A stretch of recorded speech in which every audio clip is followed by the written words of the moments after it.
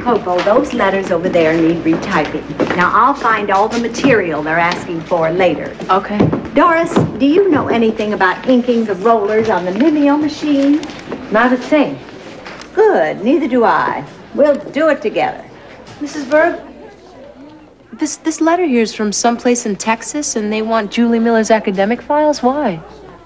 Well, Julie Miller's now coming back this year, didn't you know? Oh, you didn't know. I'll retype the letters, Coco. Thank you for your help.